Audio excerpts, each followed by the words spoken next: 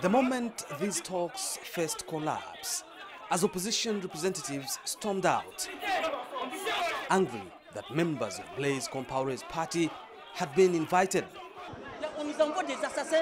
They want us to sit on the table with them. We cannot do that. Understand us.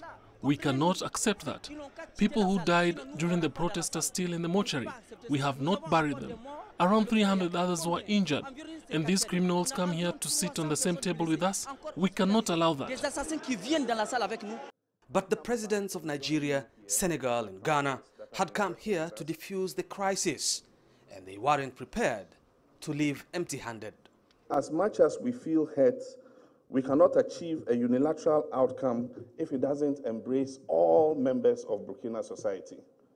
And so please, as chairman of ECOWAS, I enjoin you that you drop your personal pain and hurt and embrace each other as brothers and sisters in order that whatever decisions that we take in respect of Burkina Faso's transition and the eventual elections that will install a substantive president and a new assembly will be done on a sustainable basis without excluding anybody.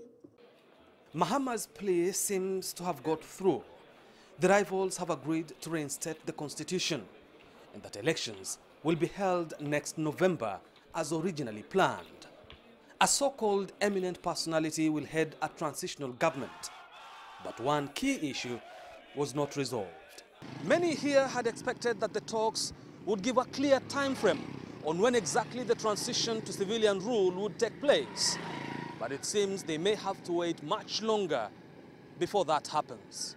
I expect that in days rather than weeks, we'll be able to agree on a transitional arrangement so that we can install an administration that will take charge of the reins of uh, this government uh, of, of Burkina Faso and steer the nation forward. The African Union has given the military two weeks to hand over power or face sanctions. Kofa Mrenje, CCTV, Ouagadougou, Burkina Faso.